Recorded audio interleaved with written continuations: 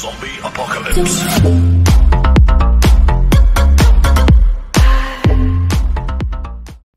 Ciao a tutti, benvenuti e bentornati sul mio canale. Oggi vediamo insieme come, come preparare una crostata alla zucca per rimanere in tema.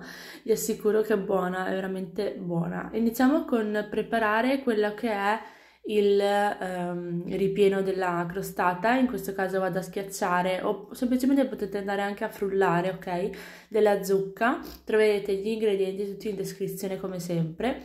Aggiungiamo quello che è lo zucchero e l'uovo e andiamo a mischiare per bene con una frusta. Aggiungiamo quella che è la panna e mischiamo.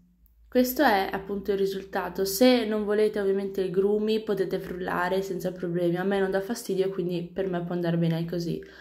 Ora mettiamo eh, dentro una pentola e portiamo in, eh, il fuoco. Aggiungiamo anche della cannella perché è sempre buono.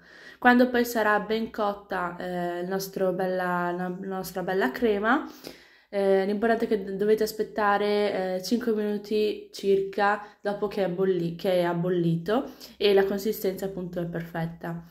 Ora poi procediamo con eh, la frolla. La frolla è sempre la stessa, uso, uso sempre la stessa ricetta perché ovviamente ehm, quando mm, raggiungi quella che è secondo me la perfezione, ovviamente tendi a tenere sempre la stessa.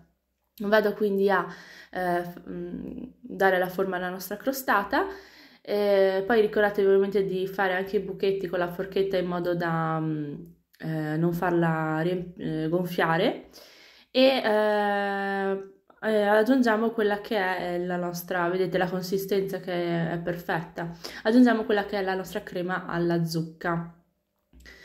Uh, la rendiamo uniforme e andiamo a decorare. Io pensavo di fare un ragnetto, ovviamente non mi è venuto proprio granché, però dai, apprezzerete lo stesso, immagino. Comunque sbizzarritevi visto che se dovete festeggiare mh, mm, la crostata con appunto con uh, qualche bimbo o in famiglia così, sappiate che potete veramente sbizzarrirvi, ave- avete un macello di scelte. Poi per il ragnetto vado semplicemente a fare la pallina e le zampette e inizialmente era solo quattro zampette poi ho pensato no forse è meglio aggiungerne altre due. E gli occhi con le gocce di cioccolato ovviamente. Molto carina e ovviamente non poteva mancare il, um, il sorriso. Ed ecco a voi il risultato. Fatemi sapere se l'avete provata come vi è venuta. E io come sempre vi ringrazio per aver visto il video fin qui. Vediamo sul prossimo. Mi raccomando iscrivetevi sul mio canale in modo da tenervi sempre aggiornati su tutti i video. Ciao a tutti